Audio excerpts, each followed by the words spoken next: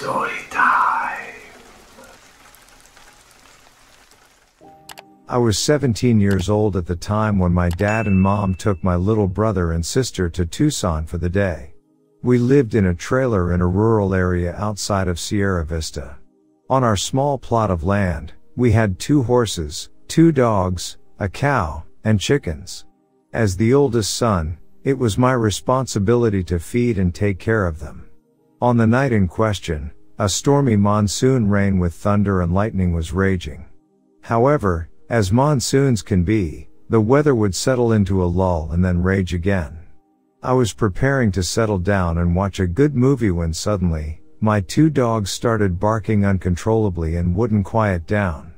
This behavior had been going on for the past week, and I attributed it to the presence of coyotes that I had heard howling at night. I decided to take action, grabbed my dad's rifle with just one bullet in case I needed it to scare off or potentially harm a coyote. Placing the loaded rifle near the back door, I turned on the floodlights outside the trailer. The rain had just stopped, so I looked out the window near the front door and noticed our two horses and cow staring as if through the front door toward the back, where the dogs were barking. Thinking they might be scared of the coyotes, I grabbed the rifle and opened the back door. As I approached, I heard my dogs whimpering and crying. Now, I began to consider the possibility of a pack of coyotes. I put a few bullets in my pocket, thinking I could scare them off if necessary. Upon opening the door, my two dogs rushed past me to the center of the trailer, leaving muddy paw prints all over the kitchen floor. Frustrated, I closed the door and attempted to get my dogs out but they wouldn't budge. They squirmed out of my arms and seemed terrified. Angry at the presumed coyotes, I decided to run them off or kill them. The trailer sat on a foundation of blocks, and the front and back doors were accessible by a set of small stairs. Standing at 5 feet 6 inches, I opened the back door and peered into the darkness. About to step out, I saw a set of eyes looking back at me from the top of my head to the ground. This figure stood around seven feet tall. Initially, I thought it might be on a small gravel hill or a bird on a mesquite bush, but as I raised my rifle, the lightning illuminated the surroundings. The light revealed there was nothing on the gravel hill or any bird on the bushes. It dawned on me that whatever it was, it was very tall and still staring at me. A sense of dread washed over me as I realized the rifle had only one bullet, and if I missed, I wouldn't be able to reload before it reached me. Quickly closing the door, I locked it, acknowledging that the trailer wouldn't withstand an attack. I locked the front door and turned on all the lights in the house.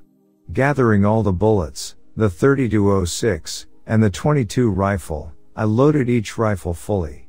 I stayed in the kitchen with the dogs, praying that whatever it was would go away and not attack. I remained awake the entire night until my parents returned.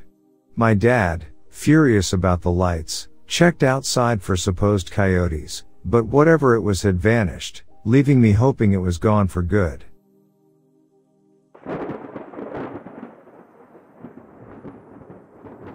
I'm from New South Wales, Australia. I just wanted to share my experiences with what you call Shadow Man and an orb experience. First of all, I'll start with Shadow Man. Since a young age, I've had recurring dreams of the same figure in my room. I thought it was normal and just a nightmare until I was a teenager and read up in sleep paralysis. Basically, that's what I've gone through since childhood. Two experiences stand out the most. One time I was meditating and I was doing, funny enough, a technique from Dr. Stephen Greer. It is to try projecting your thoughts and location out into the cosmos or wherever your thought vibrations go. Anyway, I asked to meet intelligent life that wasn't human. Stupidly, I didn't set any specifics. That night I awoke in my bed and just knew something was coming in the hallway. I sleep with my door open, and I hear steps into my doorway. A very tall 3D shadow silhouette. It was so tall I could only see to the top of its chest. My heart dropped and I realized I was paralyzed.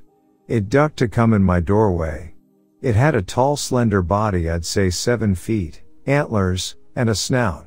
I couldn't see the legs as I was frozen in bed. I could barely move my lips to swear at it. At this point, I was just over it. This has been recurring since childhood so I was pissed off more than scared. I managed to taunt and wave a hand to come to get me and in an instant, it was in my face and I blacked out. That's pretty much it. You're gonna call me an idiot but I did it the next day. Again the exact same but this time I said I only want to meet life that has my best intention in mind. It happened again but this time I wasn't paralyzed. At the front of my bed were two blonde hair blue eyed kids they walked me outside and down the road were two adults on tables both with long hair. They were all wearing silver skin tight onesie suits and the whole time I was just freaking out. I was saying to myself, don't forget because you're gonna. I just thought I wouldn't remember so I tried to stay calm. As we stood in the middle of the road we were just looking at each other. No one said anything. Somehow I just knew what they were all thinking and it kind of felt like family. In an instant, we showed up into the sky and I just remember looking down at everything. I blacked out. I don't remember anything else. My orb story was in 2012. Do you remember when everyone thought the world was gonna end? Well, that's relevant to the story. One night I and my friend went out. It was probably around 10 p.m. And across the road just above the trees was the front of a public school. There was a bright bluish white orb about the size of a basketball. I'd say it was 15 feet in the air. Because there were rumors the world was gonna end I thought what I was looking at was a meteorite and because it was the size of a basketball. It was actually a huge meteorite in the solar system coming down and going to kill us all. My heart dropped and as I was watching it just began to do circles as it was moving. A big glowing tail came off it. The orb met up with the tail creating a big ring of light in the sky.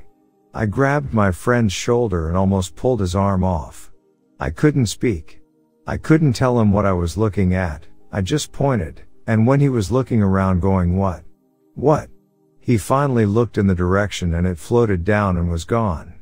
I was just waiting for a big crash, waiting for the world to explode. But no. No nothing happened. This was before the days of drones so it wasn't a drone because drones don't have massive glow tails of light and aren't that big.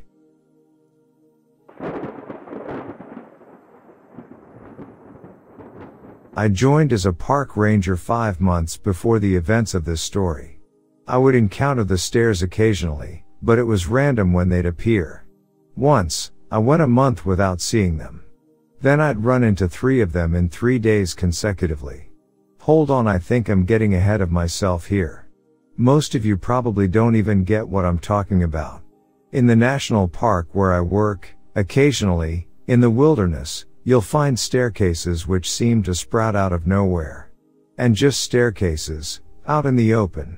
They don't seem to lead anywhere, and they go away just as quickly as they come. Now, I'm pretty sure this would be a bigger news story than it is, but, as it is, the higher ups want to keep a wrap on them. I don't know if perhaps they know more than I do about them, but whatever it is, the other rangers didn't care too much for them either. Whenever I would ask about them, most of them would just straight up ignore me and start talking about the weather. Some of them would glare at me as if I'd committed an unforgivable sin and told me to never mention them again. A few of them would just shrug and get on with whatever it was we were supposed to be doing. I did find someone though I'll call him Mark who was a bit more open to talking about them. Listen, you're new here, and most people just get the hint that no one is supposed to talk about them but. Yeah, they just sort of pop up. He paused, and looked at me quizzically. Have you ever come across one which is upside down? I shook my head. I've seen one of them like that, and some of the others have too. I have no clue what it means. Only thing that you need to know is that you are never to ever go on them. Do that and the least you'll be getting is fired. He then trailed off, not detailing the things that could happen which would be worse than that. And for a time, I just sort of accepted that. We weren't supposed to be going on the stairs. Simple enough. I even began to ignore it. It was easy enough to ignore them for the most part. Aside from looking really weird, they weren't doing any harm, right? That was, until one day we got an alert that a kid had disappeared somewhere in the woods. I was sent out as part of the search party, and as I began combing the area where the kid was last seen, I saw it. A set of stairs lined with a yellow carpet. Another one of the rangers, I'll call her Stacy found me staring at it. Stacy was part of the crowd which would ignore the stairs as much as possible, but her face became pale when she saw them. She looked at me and shook her head.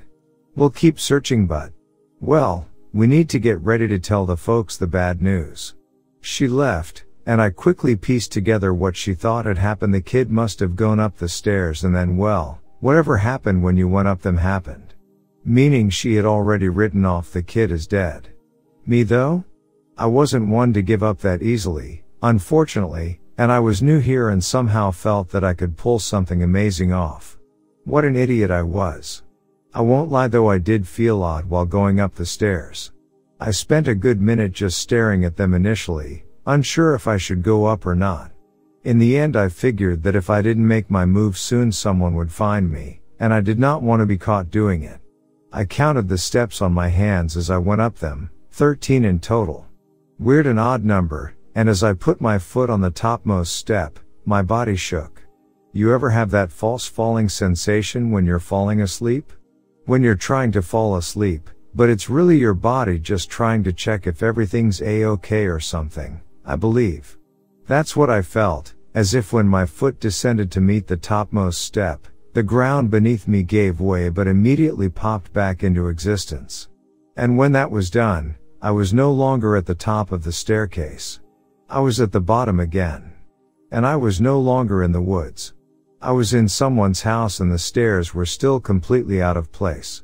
They led up right into a wall. I looked around. The carpet here didn't even match that of the stairs, it was a crimson red color. I was in a hallway, and could hear some voices coming from a room. I know it sounds stupid, but the first thing that came to mind was that I was wearing shoes shoes which had been outside in the woods on a carpet. If it was my mom, she would be screaming blood murder at me. What would the owner or owners of this house think? I crept up towards the door, dreading what was coming up. As it was, I couldn't exactly go back down into the woods. Maybe I could keep going up, but would that lead me back home? Or somewhere else? As it was, even though this was a weird situation, I was still more confident with staying here. Because, at the very least, this place was safe. And as they say, Better the devil you know. I went into the room, preparing an apologetic face. The room looked fairly normal at first glance. There were four people sitting at a table, two adults and two children, who looked like they were eating dinner based on how dark it was outside.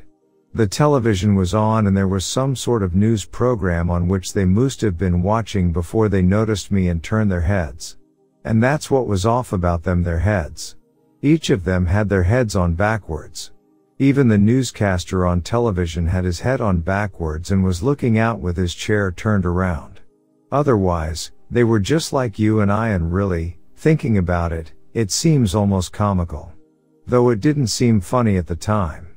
The four of them screamed, and one of them lunged for a knife. I didn't want to stick around any longer and wound back up the stairs. Instinctively, I thought that if I went up them, I would once again end up somewhere else. It was that or go outside the door, but I had a strange feeling that when I went out into the world given what I saw from the news broadcast, I would find a world filled with people with their heads on backwards. As my feet touched the top of the stairs, I once again felt the weird falling sensation as I found myself back in the woods. I sighed in relief now.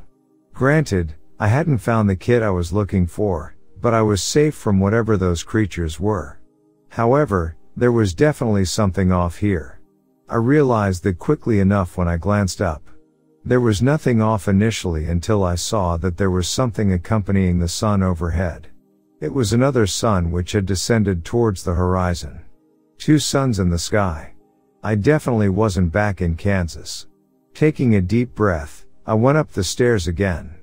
And again. And again. I saw many things worlds which were a lot like our own, but subtly different.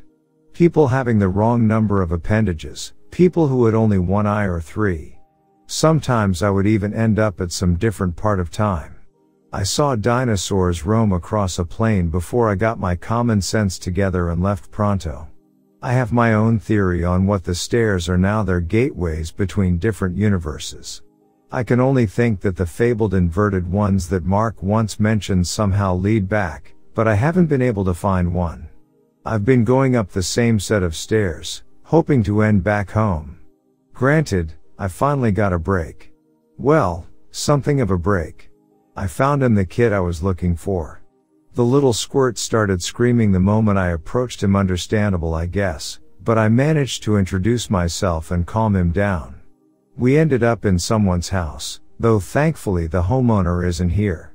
The only thing I could think to do at that point was call for help, but my phone wasn't getting a signal. And so, I went on here and was hoping some of you could help us get back home. I've been scouring the internet and it does seem like we managed to loop back around finally given I can see that the national park where I work at is listed there on the internet. I saw a bunch of familiar sites and news items as well. Ah, it's good to be back home. Overall, we're doing fine for now, though we are kind of getting hungry. And oh yeah, there is one more odd thing here now that I think about it. It's this keyboard I don't know why, but it just isn't made for someone like me. I think the owner of this house had some sort of accident and lost a finger on both of their hands. And they must have had this keyboard custom built for themselves later, because how is anyone with a full set of seven fingers supposed to use this thing? Anyway, do please send help soon.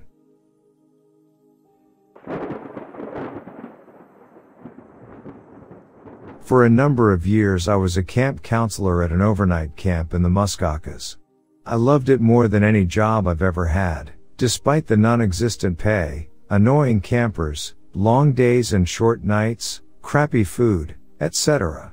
For one, I got to tell as many scary stories as I could sputter out. There was nothing better than hanging around a dying campfire with a bunch of junior high kids who were demanding the scariest, most blood-curdling tales I knew. And I told them all, the babysitter and the eerie clown statue, the driver and the creepy gas attendant, the woman and her licking dog.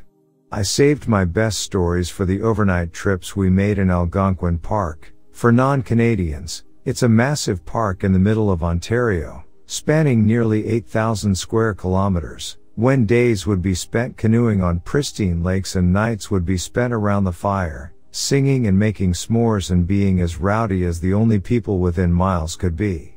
Once the kids had quieted down, I told them stories of a stalker in the woods with a face so horrifying it paralyzed all of its victims in fear, or the group of campers who decided to spend a night across the lake from an abandoned, or was it? Insane asylum. On this particular night, I'd finished up the tales, once again insisting that they were entirely true, and sent the campers to their tents. It had been an exhausting day, and none of the six kids were in any mood to stay up later. My fellow counselor had also decided to pack it in, leaving just me on a fallen log next to the dying fire. I took a deep breath of the cool, fresh pine scented air and looked out at the lake. The partial moon reflected off the glassy water, and on the other side I could see towering cliffs, going up several hundred feet. I considered whether we could canoe over, climb up a few dozen feet, and do some cliff jumping. I grinned. The camp director would have my head if we did that. If he found out. Movement at the very top of the cliffs caught my eye. There was a small light bobbing along the peak. At first I thought it was a star, but it was larger and gave off a golden glow. It slowly moved back and forth in a small arc. As I sat up and watched it, Another appeared next to it, bobbing along the top of the cliff. Then another. And another. And a few more. My stomach dropped into my feet. I grabbed my bag and pulled my digital camera out, then focused it on the little glowing orbs and used the zoom function. I counted them. And then I counted again. Oh shit. In a flash I was up and running to the tents. Hey guys? Wake up. We gotta go. There was movement in the tents, and then I had seven confused heads looking out at me. My co-counselor wore a mixture of concern and pure anger. I hate to do this, I continued, but the clouds are looking really threatening. There's a big rainstorm coming in. If we get caught in it, it's going to ruin our trip. Seriously? Laura, my co-counselor, asked. We're in the middle of the woods. Where would we go? I pulled a map and flashlight out of my bag. There's a ranger station a few kilometers south of us. I traced the path with my finger. Thank God. We can make it there in a few hours. The campers groaned. Can't we just go in the morning? No, I shouted, my voice echoing across the lake. I lowered it. Come on, let's get packed up and go. I'll tell you a story along the way. I smiled, though I could feel my lips quivering. It's my best one. That seemed to get them going, and within 10 minutes the tents were packed up and we'd begun our trek into the deep woods, with small flashlights our only guide. When I was confident we were moving at a steady pace, I allowed myself to relax and began to tell my favorite campfire story. Centuries before the European settlers made their way into the country, it was inhabited by the First Nations people. They had made the trip from across western Canada, following the migration patterns of large animals such as buffalo and bison. Eventually they reached Ontario, at which point they split off into smaller groups of travelers, each searching for a section of land to call their own. Legend has it that one group, consisting of about 20 men, women and children, had ventured through this very area in search of a place to call home. Though it wasn't even the end of October, the weather had made a turn for the worse, and as the group journeyed around the lake, a fierce blizzard hit. Within an hour, the group found themselves in blinding snow and below zero temperatures. The clothes they had on them were made for the fall, not this sort of weather, and there weren't any Canada Goose jackets around back then. But they pressed on. They didn't have any other choice. Night was falling as they reached a cliff bluff, which towered over a cold, choppy lake. There was no stopping for this group, they'd die if they didn't make it past the cliffs. But with darkness setting in and the snow falling even harder, visibility was almost non-existent. So one of the elders had an idea. Using the little kerosene they had left, he lit a lantern for each of the travelers and had them carry it in front of them, not so that they could see the cliffs, but so they could see who was in front of them, allowing them to all follow each other across the narrow bluffs. With the strongest of the men leading the way, the group began to cross the cliffs. The freezing, wet snow soaked every bone in their body. The harsh wind chilled any exposed skin and threatened to push them right off the rock. Their path was no more than a few feet wide, and would have been slippery to even the best of hiking boots, let alone hand-fashioned moccasins. Slowly, painstakingly slowly, they made their way up the cliffs, praying that whatever lay on the other side could shelter them from the intensifying storm. They were about halfway up, hundreds of feet above the lake, though it was well out of their vision. In fact, all they could see in this blinding storm was the lantern in front of them, acting as a beacon to guide their steps. If the light moved up, they moved up. If it went down, they moved down. Each of the travelers was almost in a trance, caring about nothing but the glowing orb a few feet away. For the leader, though, there was no such luxury. He moved forward blindly, feeling along the cliff with his free arm, though his skin was so numb he could barely feel anything. As the path wound back again, he made a misstep and lost his footing, just as a gust of wind blasted his back. He desperately grasped for the hold, but his frozen fingers couldn't get anything. With a terrified scream, he slipped off the cliffs and fell into the icy black lake. The rest of the party didn't see him fall, of course. All they saw was his glowing orb dropping away from the bluff and disappearing in the darkness. There was no time to mourn. They continued on, but the storm was worsening. After another minute, one of the children, his body unable to withstand the cold, dropped away, his lantern glowing until the choppy waters put it out. Another, having seen this, lost his balance and fell. This pattern went on until there were just five people left, fumbling along in the darkness, following the light in front. As hard as they tried, the cliffs were unforgiving. The remaining men fell down to four. Then three. And two. And then there was just one left, who legend says cursed the earth as his legs slipped and he plunged hundreds of feet down, his lantern the last one to be extinguished. Of the 20 members who tried to overcome the cliffs, I finished, not one of them survived. They say that sometimes, when the conditions are right, you can see the orbs along the cliff, symbols of the lost travelers who will never find their homes.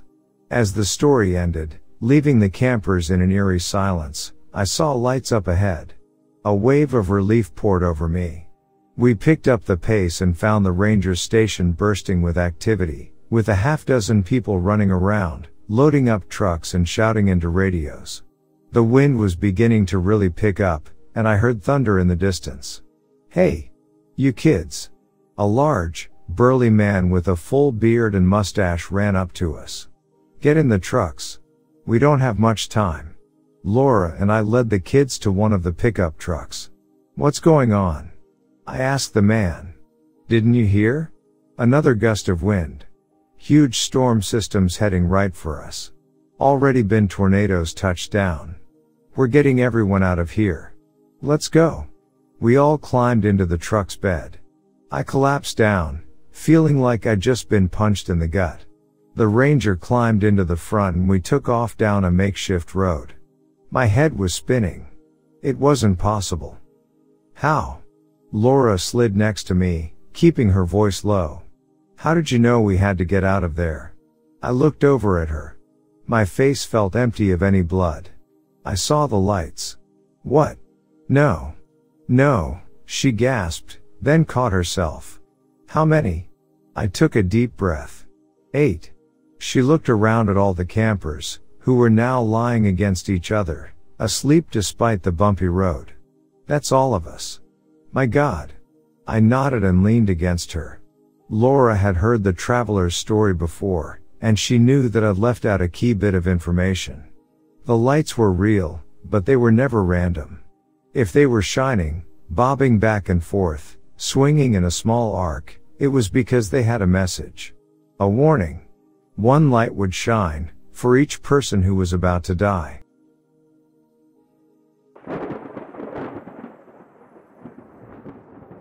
While my mother and I were grouse hunting up by Bena on Six Mile Lake Road in the Mud Goose Management Area, we both witnessed a Bigfoot.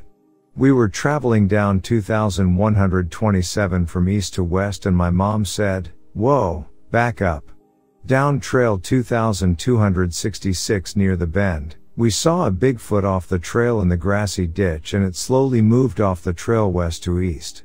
My mom asked me if it felt like it moved in super slow motion. I concurred. The ditch at the site was three feet down the grass at the side of the trail was three feet tall and the upper torso was three to four feet above the grass leaving the Bigfoot to be approximately eight to ten feet tall. We drove to the spot and both noticed a strong sulfur or rotting vegetation when I got out of the car and immediately felt all my hair stand up on my body. I checked for any sign of footprints on the road. I could not see any due to the gravel being very packed down. There was a small bit of gravel disturbed in one spot near the west side of the road shoulder. We later got stopped by the local CO, conservation officer, aka game warden, checks on hunters. When we mentioned what we had seen and where it was, he remarked that's where people have been reported seeing a Bigfoot. My mother and I have no doubt that we saw one.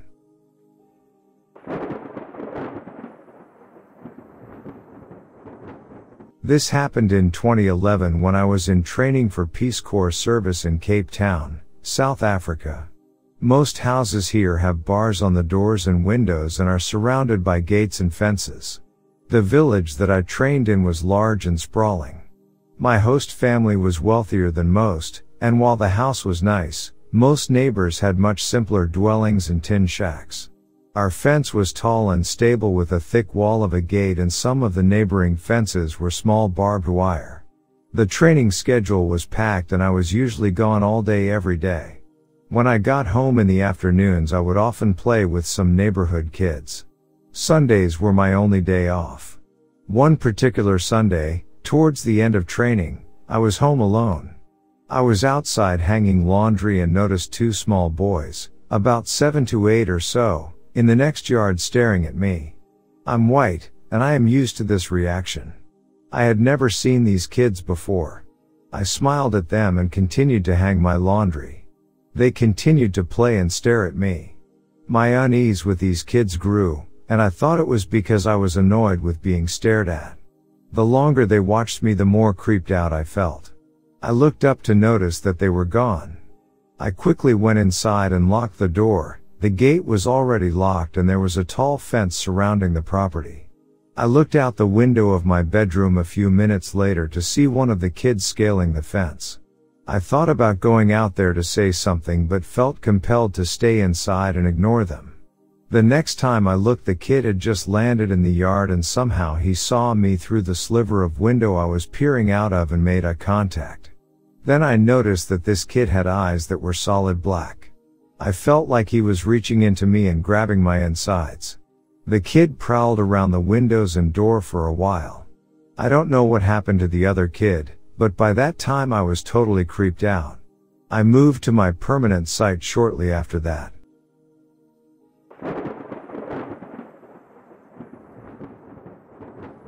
All I know is that the encounter I experienced frightened me so much that even after all these years it still shakes me up to think about it. Until that evening, I have always thought of werewolves as being nothing more than just fairy tales, but that first encounter has left a huge question mark inside of me. I come from a family of skeptics, so I decided not to tell anyone about what happened to me. Then one night my brother came home trembling and pale.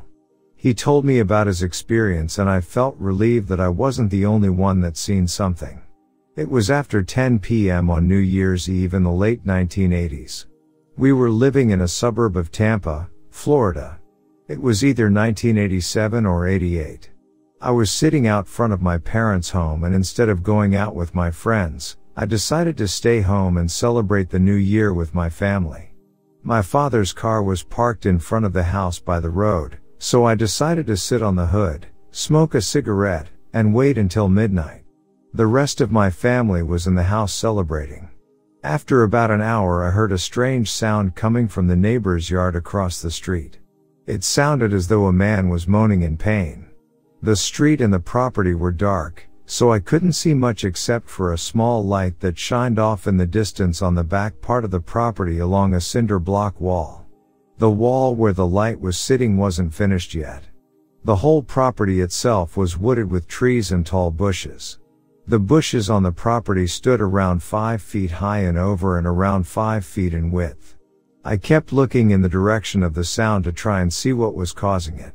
My first thought was that maybe someone was hurt, but then the sound changed. It went from a moaning to a low pitched gurgling, then growling. The next thing I heard was a loud thud as though something huge jumped and landed behind one of the bushes in the back part of the property. The sounds that followed were the sounds of something seriously heavy, on all four legs darting behind large bushes moving towards me in a zigzag pattern. I started questioning myself as to what the heck this thing was. Was it a horse or a dog? It sounded so heavy and I could hear its breath when its feet hit the ground as it came closer. I heard the growling again and it was like no dog I had ever heard. It was at this point that reality hit me and I realized that this thing was coming towards me. I suddenly felt the rush of fear go right through me. It stopped behind a huge berry bush that was across the street from me which was about 15 to 20 feet away. It suddenly became quiet and I couldn't hear the breathing or the growling anymore. I eased myself down off of the hood of the car because I didn't want to make any sudden movements especially since it was so close. The front door was about 30 feet away from where I was and I didn't know if I would make it. I didn't know what this thing was and I didn't want to find out. I was so scared I could hardly breathe. My parents had a lot of bushes and trees in their front yard as well, so I noticed a gap in between a couple of them and I started running. As soon as I started running, that thing started coming after me. I could hear it behind me as it came across the street. I heard its nails scraping the asphalt once or twice as it crossed onto our property. I was not about to look back and as soon as I reached the front steps I jumped to the top step and quickly ran into the house and locked the door. I was shaking so bad that I felt like I was going to pass out.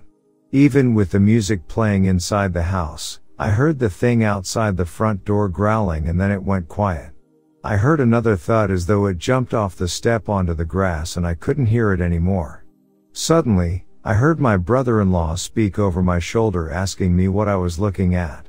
I jumped and thought I was going to choke on my own words. All I said to him was that whatever he did, do not go outside.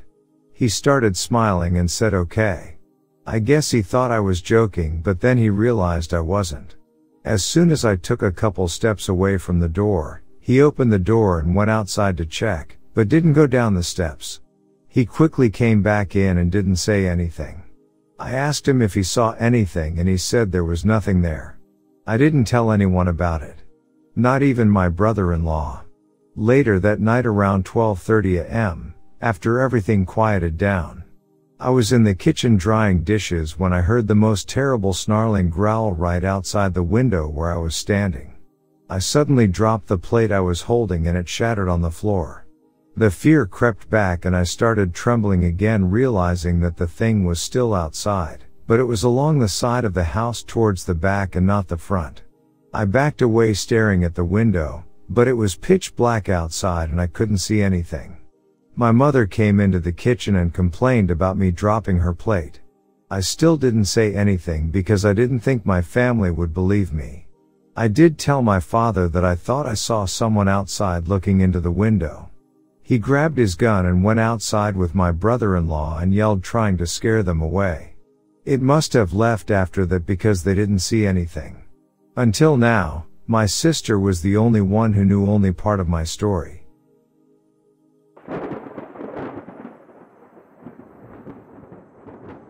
My story comes from the Crow Indian Reservation of Montana. I was dating a Crow tribal man at the time. I'm not sure how the subject came up, but he shared several experiences with me about his and his family's encounters with the Sasquatch people. When he and his brothers were little they were playing in the woods when they saw some bushes rustling. They thought it was probably a skunk or raccoon in the brush and they started throwing rocks at it. He said suddenly an enormous Sasquatch stood up and yelled at them. It chased them and they ran home as fast as they could. Looking back as an adult he said it could have caught them at any time but only seemed to want to scare them away and back home he joked it was rather like an elderly neighbor yelling at naughty kids to get off his lawn.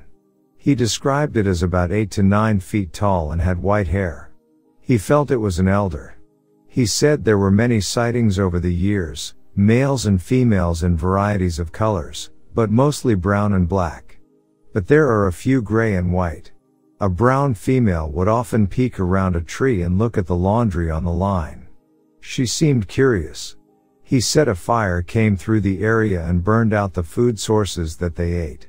They moved on and they haven't seen signs of them since. They also have many stories of the little people and sometimes they are seen with the Sasquatch. Most of them will not talk about the little people as it's considered disrespectful and bad luck. But there are stories of the little people helping the crow.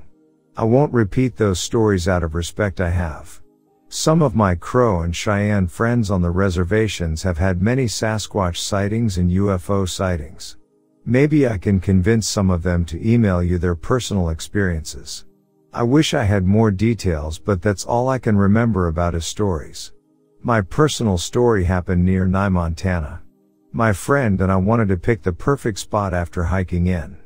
We saw a wooded little island in the middle of the Stillwater River. It was so perfect, we waited out and set up our tent in a clearing in between the trees. We had a lovely night. We chatted away, cooked some great food, and went to sleep. I woke up in the morning to small pebbles hitting the side of the tent. Then something poked my side of the tent like a finger.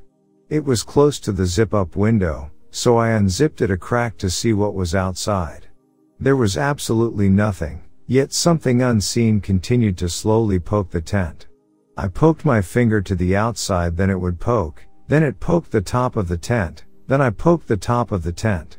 I was not afraid, I was just more curious as to what this invisible being was. I didn't feel any malevolence from it, more like it was just playing a fun little game. This went on for several minutes and then it seemed to get bored and stopped. When my friend woke up I told her what had happened. We looked all around camp and no clues, no prints, nothing disturbing, just a beautiful Montana morning with an odd experience. I'm Irish and grew up on myths about fairies, giants, and other fae folk in Celtic legends. The Fae or the unseen people can either be helpful and friendly or malicious depending on how humans interact with them by doing something that annoys them. They can be mischievous to outright dangerous. It makes me wonder if our ancestors actually knew the truth and we turned truth into mythology as we became civilized. I truly believe in the unseen people, not just the Sasquatch people, but probably many other beings. I have no idea what was poking my tent. I should have been able to see something. But all I could see was a tent fabric being poked by an invisible finger. I don't know what type of being it was, but it let me know it was there without showing itself. Maybe someday we'll find the truth about the other people or the good folk as the Irish affectionately called them.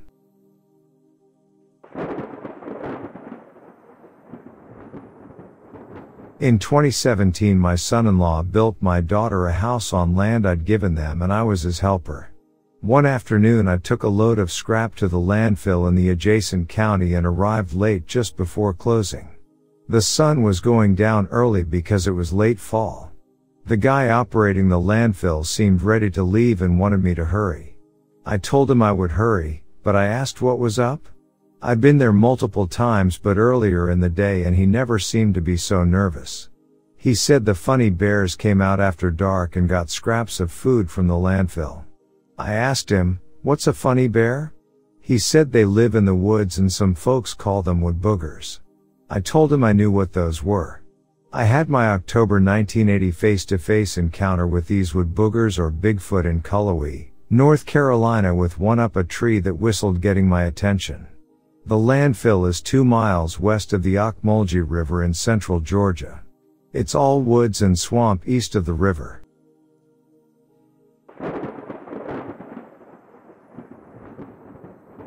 This is a true account, even though it is difficult for me to believe sometimes. This occurred right after I had graduated from high school in the spring of 1973. That fall, a buddy and another friend of mine came over to my place. We lived close to the University of Tennessee campus in Knoxville.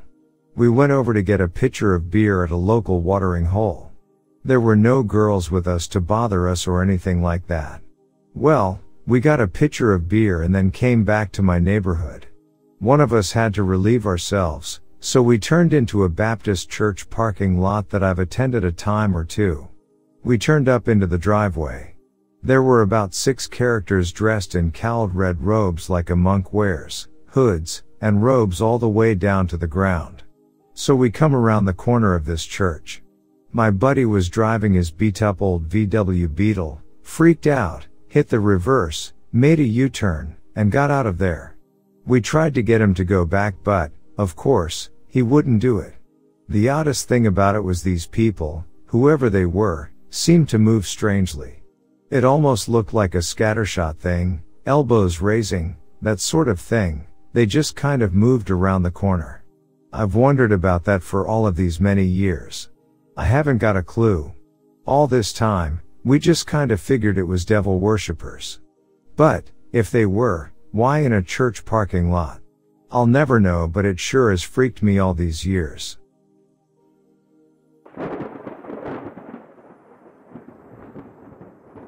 This event happened in April of 2021. I live in Yale, Oklahoma. My wife works in Stillwater as a nurse. It was an early Saturday morning and my wife got called into work.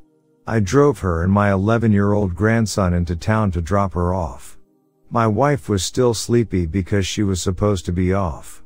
She quickly nodded off by the time we made it to the highway. The sun hadn't come up yet, but it was light enough to make certain things out. Off to the right is a grassy clearing, and there are several animals around the area. But something was odd.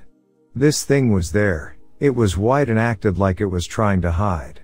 I slowed down a bit and saw it throw something in my direction. Whatever it was hit the ground and bounced back up.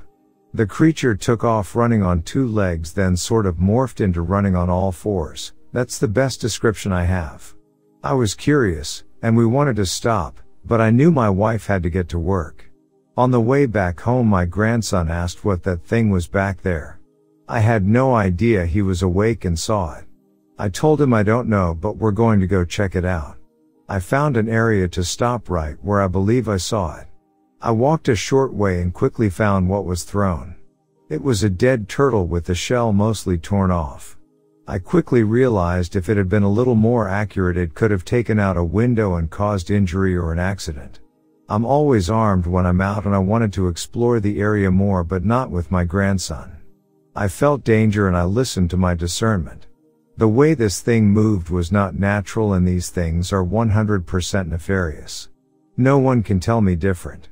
I believe I know what they are but I've heard a few stories. To say exactly what I believe is that they are evil.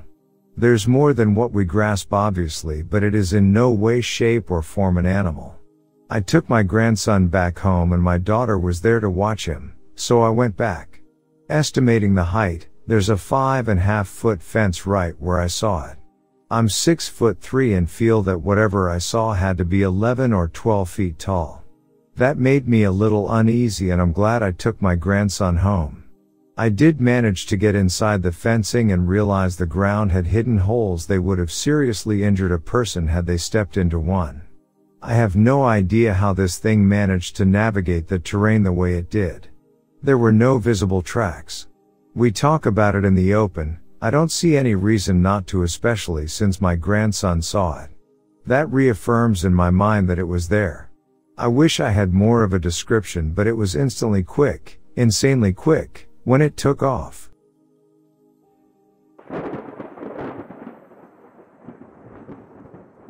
In 2003 I was taking a trip across the country with my father, from East Coast to West Coast. We had camped out for a couple days in federal land in Utah and needed gas. It was an extremely desolate area, but we passed a little crossroads. There was a convenience store built on the side of a rock wall. When I walked in I remember there was an old man behind the counter and a younger looking man in one of the aisles. No flags went off, just a normal setting. I was paying for the gas at the counter and the younger man came up behind me to stand in line. He kind of passed the boundary of my comfort zone so I casually inched forward a bit. He did it again, so I gave him sort of a side glance, a quick glance to the eyes. Looking back at me were watery, completely jet black eyes. I only glanced at them for a split second but that was enough to start to process what I saw. The hair on the back of my neck went up immediately. It freaked me out, but I left calmly. I got in the passenger seat of the RV. My father was done pumping gas and we left. I didn't exactly have any feeling of fear, more just something I couldn't process from the norm. Two days later we made it to the west coast, near San Francisco, and headed north on the Pacific Coast Highway. We made it to a campground in the small coastal town of Eureka, California to camp and stay the night. The town had a movie theater that we could walk to from camp, so we caught a show and headed back for the night.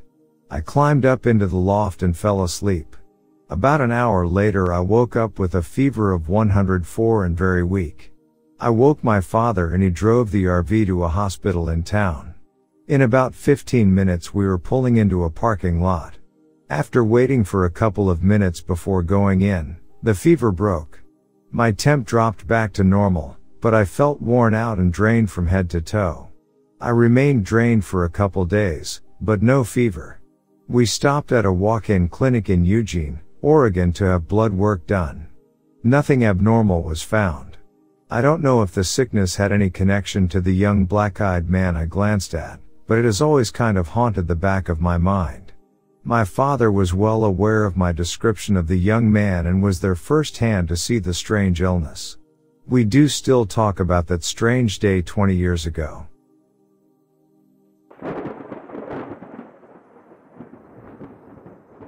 At a young age, experiences which I have now come to suspect as being abduction experiences occurred with terrifying frequency. For many decades I was convinced they were nothing more than a recurring nightmare, but now I am not so sure. The best that I can tell, it first began in 1976-807 when I was living in Chateauguay, Quebec, Canada. The experience begins after I am put to bed, despite my protests that leaving me alone in my bedroom would result in harm to me by unknown entities. Shortly after being put to bed, the red eyes would appear right outside of my bedroom window. They seemed to hang there, though I was never once able to make out any physical body that housed these terrifying eyes. Though I have memories of these eyes communicating with me, despite their lack of a mouth. Sometimes, they would be reassuring, other times, they were terrifying in their cold, calculatedness. I would always fight the desire to sleep because I somehow knew that the eyes were waiting for me to fall asleep before they would be able to interfere with me. I was never once able to avoid falling asleep, though I tried valiantly. Inevitably, my eyelids would begin to droop, and before long, I was being carried in the arms of a Sasquatch-like being, whose arms and legs were covered in thick, black fur. I do not recall being able to discern any facial features of the creature as every time I tried to make eye contact, it was as if my mind blurred out the terrifying face I should have been able to see. I also do not remember there being any foul stench, as normally associated with Sasquatch. I would then be carried out of my bedroom, and down the stairs to the landing on the main floor where the kitchen, the living room, and the hallway which leads to the front door, meet. Once there I am frantically looking around as I am screaming in terror for someone, anyone to save me, though I distinctly remember not being able to get away from the beast, no matter how I tried. I was able, however, to gain a fairly good peripheral view of my surroundings. I noted that the entire family was seated in the living room, in the middle of the night, and in various stages of undress, and they seemed to be playing cards. This led me to believe that they were engaged in a game of strip poker. Every member of that staunchly Catholic and severely sexually repressed family was seated there half naked or more, and fully engaged in a game of cards, from my grandmother, right to my six year old sister. All were slowly stripping down, garment by garment. All were oblivious to what was happening to me, as they focused intently on their card game. I screamed and screamed, but no one gave even the slightest indication that they could even hear me, much less respond. Then the beast turned right to exit the front door. This is where it varies on occasion. Sometimes it ends abruptly with the opening of the screen door, and others it ends with me being handed off to something I could not see which carried me up the ladder into some sort of craft, which I also could not see. It felt as though my body was being fully supported at all pressure points by an unseen force. Later on, as these experiences continued, I remember being whisked into a blindingly white room onto a bed. I do not remember the facial features of the beings in that room with me, as I was never able to see any faces clearly. It was like they were always blurred out. I could see every other detail perfectly, but never their faces. I remember them taking something out of my head, through my right nostril. They only did this once that I recall. I remember waking up the next morning with an unexplained nosebleed. Nosebleeds are not something I have ever had, before, nor since.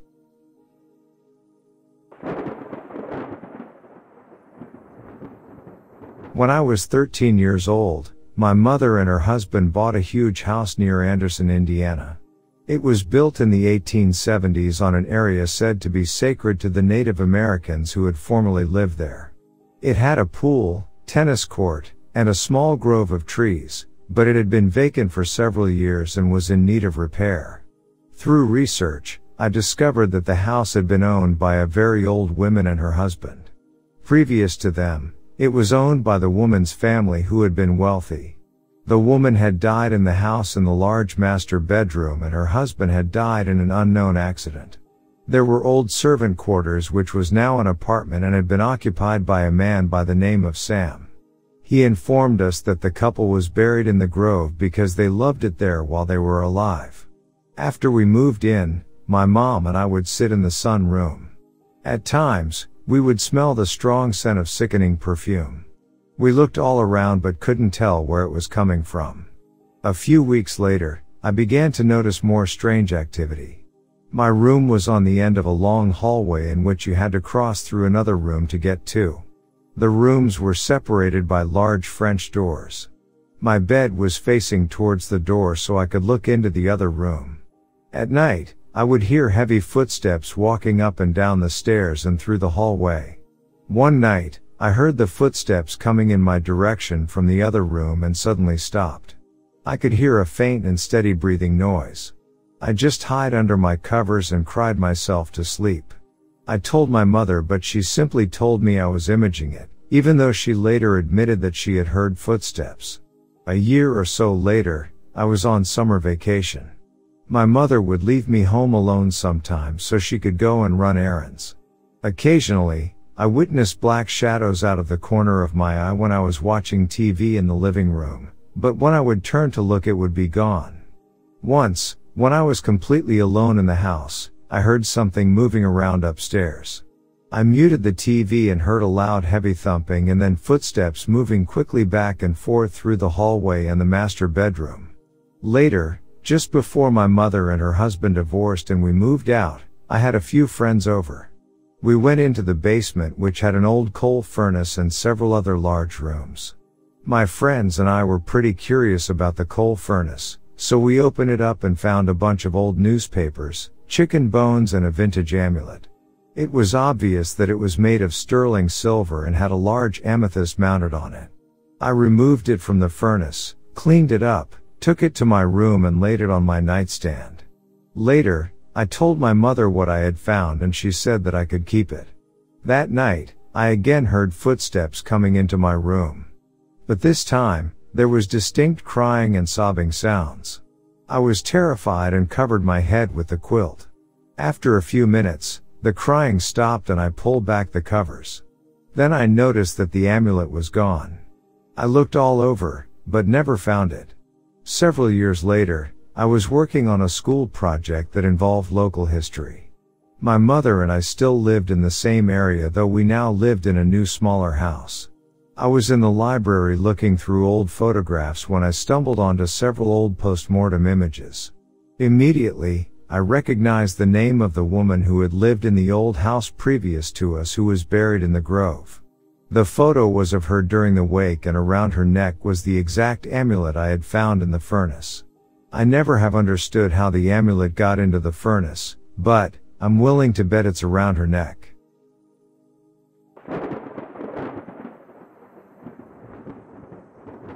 The first UFOs I saw, my son ran inside and said emphatically, Dad, get out here now. So I jumped out of my chair and went out our south door where he was standing. Two orbs not but 50 feet away were not moving, about two feet off my driveway, so I turned and yelled at my wife that there were UFOs in our drive.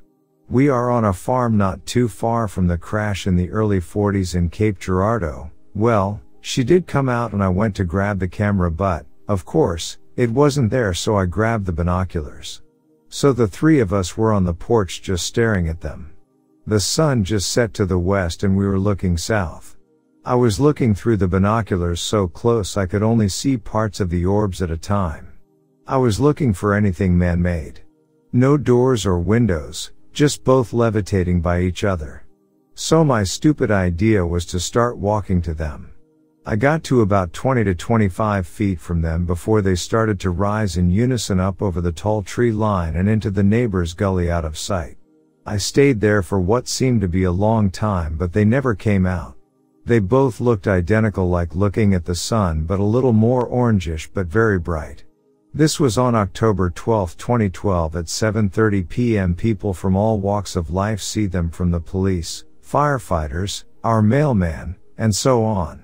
Also on our major news channel, they put up a fake UFO. You can find people's pictures and videos if you search UFOs in Cape Girardeau and Jackson, Missouri summer of 2012. I started to get premonitions then my health got so bad I was in the ICU for over five months completely paralyzed. And still, to this day I'm recovering.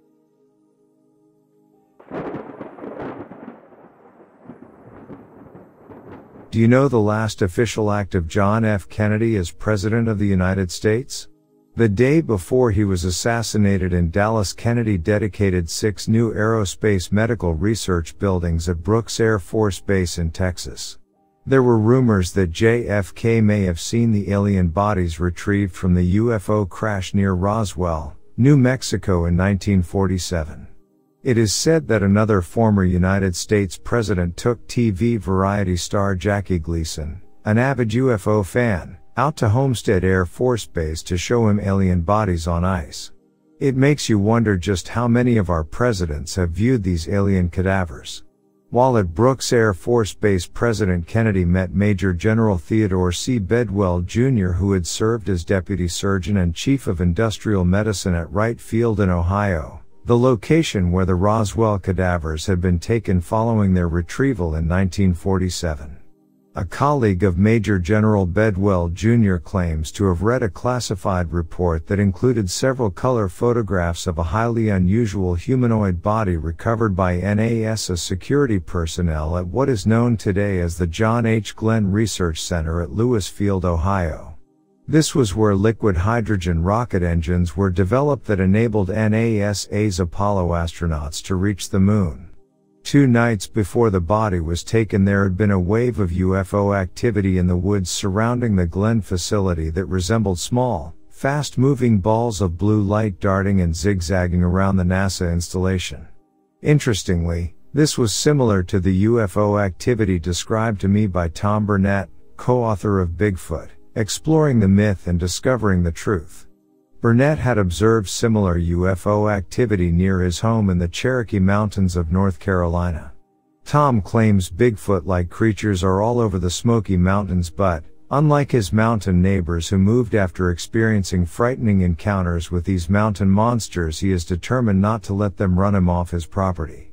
Once, Tom Burnett had rented his mountain cabin to a couple who, only after a couple of nights, called him from a store in town requesting their deposit back after being frightened by the sound of helicopter blades and the sight of bright lights in the woods in the middle of the night. The creature that had been shot and killed by NASA security near the John H. Glenn Research Center was described as an immense, approximately 9 foot tall, powerfully muscled monster that matches the description of Bigfoot. The beast was allegedly autopsied and found to have 32 teeth like most humans, Vocal cords resembling those of humans and, even stranger was the small, metallic device found embedded within its lower left arm that resembled a highly advanced tracking device or transmitter. Eventually, the remains of the creature, including the transmitter, were taken to the Foreign Technology Division of Wright-Patterson Air Force Base in Ohio. Nothing else is known regarding the incident. Thanks for watching. Be sure to subscribe for daily stories. We at Horror Den of Misfits really enjoy this, and your support would be appreciated.